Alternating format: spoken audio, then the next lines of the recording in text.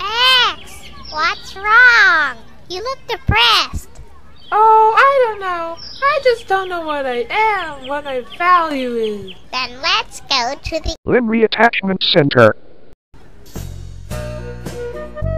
So this is the Limb Reattachment Center. now. And we find an empty seesaw, put you on one side, and take some heavy. So we add some more. Nope. Ooh, it's equal. Now we can figure out your value. but four. Why are we still here? Get out. Yeah, we can.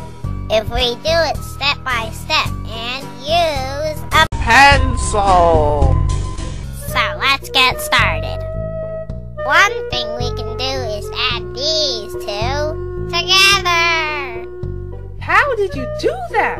We weren't even touching. They don't have to be. Could we do it if we were touching? Yeah. We can also put these together. Five. Wouldn't it be eleven because eight plus three is eleven? No, because we're putting together 8 and minus 3, negative 3. So it's 5. Oh. I see something. We can add these. Oof! Why did that happen? 2 is connected to the 3 plus x. Oh, uh, so? It's like adding apples and oranges. You can. So what do we do? Okay, see the 2 times 3 plus x? Yeah? That's the same as 2 times 3 plus 2 times x, which is 6 plus 2x. Oh, and 5 plus 6 is 11. Yes. Now we Shut up. things around. We have to move this 2x to this side. Oh, so 5x.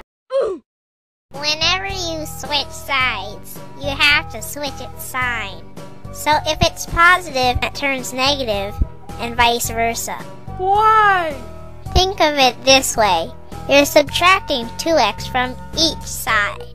Oh, so it'd be just 1x or x. Incorrect! Do the same with me. 4. Oh, okay. 11 minus 4 is.